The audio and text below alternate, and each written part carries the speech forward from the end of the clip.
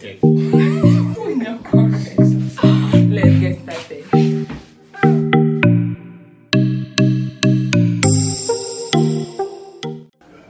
Hey guys, welcome to Oscinto's Kitchen. So today we want to make oven grilled tilapia. The banku is already prepared, so let's dive right into it.